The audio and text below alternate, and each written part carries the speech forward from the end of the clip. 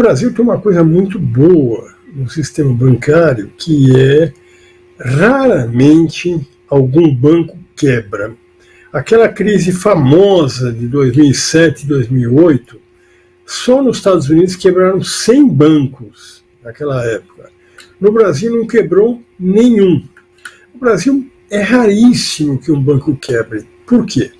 Porque a fiscalização exercida pelo Banco Central sobre os bancos é muito rigorosa, muito grande. Nenhum banco escapa da fiscalização. E o Banco Central acompanha tudo, praticamente todos os empréstimos que são concedidos pelos bancos são acompanhados pelo Banco Central, que sabe qual é o risco dos mesmos e é, toma as providências para que justamente os bancos não incorram em riscos altos. Então, dificilmente um banco vai quebrar no Brasil. Mesmo outros impactos dificilmente acontecerão, porque justamente só mesmo se houvesse um cataclisma mundial poderia afetar as nossas taxas de juros. Mas isso não vai acontecer. É, esse episódio é um episódio localizado nos Estados Unidos, é claro, é um banco importante, mas não é um grande banco.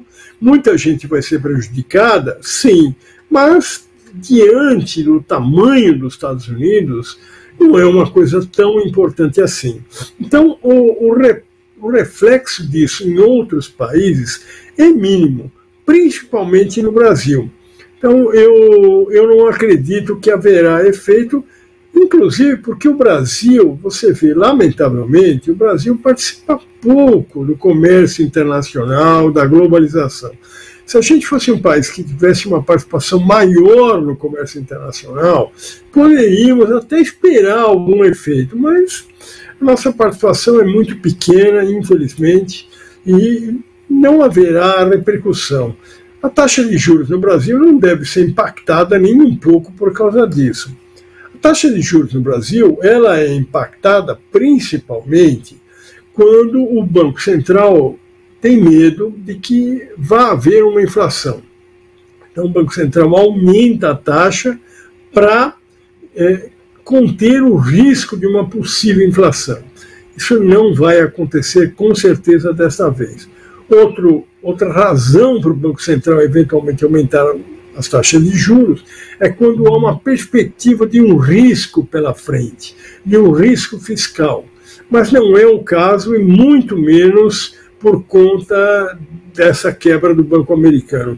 Então, eu acho que nós vamos passar incólume por essa crise norte-americana, mas bem localizada nos Estados Unidos.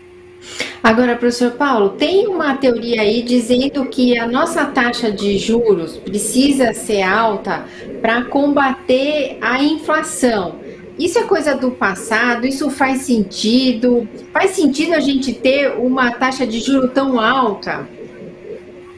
É claro que não, Miriam. A revista Economist, que é talvez a revista mais importante do mundo na área de economia, ela tem 200 anos, essa revista, uma revista britânica, fez uma reportagem muito interessante na semana passada sobre os países que praticam altas taxas de juros.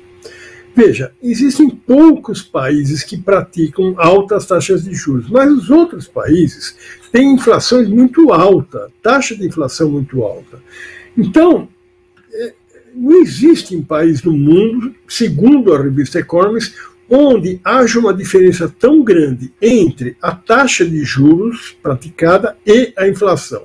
A do Brasil é a maior diferença. Nós temos uma inflação de 5,5% para uma taxa de quase 14%, o que dá uma taxa real de quase 8% ao ano. É, segundo a Economist, a maior taxa real do mundo inteiro. Para que isso? Não existe isso em lugar nenhum do mundo. Outros países que têm inflação muito alta praticam uma taxa de juros, às vezes, um pouquinho mais alta. Por exemplo, a inflação é de 7%, então a taxa de juros é de 7,5%. Agora, essa taxa de juros no Brasil, ela só traz problemas, ela não tem nenhum efeito sobre a inflação, nem precisaria ter, porque a inflação no Brasil está sob controle. Agora, ela acaba promovendo um, uma diminuição do crescimento da economia, que é o que a gente está vendo. Por quê? Porque fica muito mais difícil para as pessoas tomarem financiamento. Se a pessoa tiver que fazer uma compra e para isso tomar um empréstimo bancário, ela não vai fazer porque vai sair muito caro para ela. E o que é pior, um empresário brasileiro que gostaria de investir no seu próprio negócio, comprar uma máquina, fazer alguma coisa que aumente a produtividade da sua empresa, não vai fazê-lo. Por quê? Porque é melhor para ele pegar aquele dinheiro que ele tem e comprar título tesouro. Ele vai ter uma rentabilidade muito maior com essas taxas que estão aí, só esses 8% de ganho real. Aonde ele vai conseguir isso investindo na sua empresa? Então, veja, é um desestímulo enorme para que se faça investimentos na própria empresa, é um desestímulo enorme para que se gere empregos. Então, essa taxa de juros ela é muito, muito ruim e ela beneficia quem? Beneficia os rentistas, que é uma porcentagem muito pequena da população. Você hoje não tem 5% da população brasileira que vive do rentismo. Agora, é claro que para eles é muito benéfico, mas o país é péssimo, porque tem um outro dado importante, Miriam. Veja só, no ano passado, 2022, a taxa nem esteve tão alta o ano inteiro, mas no Brasil o país está pagando 700 bilhões de reais de juros. É o maior gasto que nós, que o governo federal vai ter, pagamento de juros, 700 bilhões. Nem você pegando a previdência, que é um outro gasto grande, a folha de pagamentos, que é um gasto grande, Bolsa Família, nada disso equivale nem chega perto desses 700 milhões que a gente paga de juros. Isso sim provoca um problema, porque tem que ser pago. E aí, como fica? O governo não tem dinheiro para pagar isso. E aí, que faz? Toma mais dinheiro emprestado, que é o que está acontecendo agora em 2023. Em 2023, a previsão é que esse gasto de juro vai chegar a 800 bilhões de reais. Então veja, esse número que é escandaloso, isso sim é que coloca o país em risco. É esse risco que o Banco Central deveria considerar. Esse é o risco fiscal, promovido pelo próprio juro, por essa taxa de juros exagerada que é ele, Banco Central, que fixa. Então não tem sentido você ter uma taxa dessas que gera um problema tão sério para o Brasil. Falando da revista Economist, hum. diga, Miriam. Não, não, pode continuar, continua. Não, o que eu ia mencionar é que essa própria revista Economist, desta semana, você vê na penúltima página os 45 países do mundo, os 45 mais importantes países do mundo, como é que está a situação fiscal deles. O pior é o Brasil. Por quê? Porque tem que pagar toda essa quantidade de juro. Esse déficit que a gente chama é, é de nominal, que é o déficit que interessa, o déficit nominal, onde entra a conta de juros. Nós, no Brasil, aprendemos nesses últimos anos a tratar de um outro déficit que não interessa, que é o primário, déficit primário superávit primário, que não entra a conta de juros. Esse aí tudo bem, esse, esse é muito pequeno. Vai haver um déficit também, mas que vai ser muito pequeno esse ano, da ordem de 2% do PIB. Agora, um déficit nominal, que é o que interessa, porque a revista Economy, por exemplo, já trata dele. Esse déficit nominal no ano de 2023 no Brasil vai ser o mais alto do mundo. Para quê? Para que isso? Porque para que, que temos que pagar uma taxa de juros tão alta? Para ter o, o, mais alto déficit do mundo, déficit nominal mais alto, da ordem de 7% do PIB brasileiro? Então veja, Miriam, está errado. Está errado. Essa taxa de juros é um absurdo. Agora, professor Paulo, entre os economistas também tem uma divergência em relação a essa questão da taxa de juros.